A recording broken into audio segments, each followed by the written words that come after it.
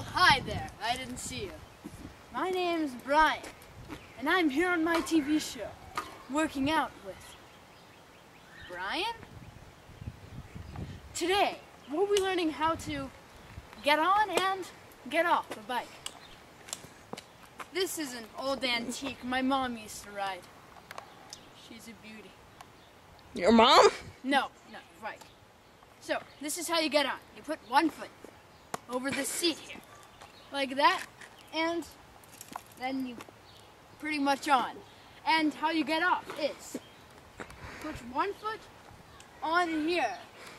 You put the other foot on the ground.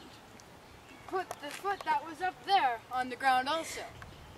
And then you put this hand that was on this side, you put it on this side.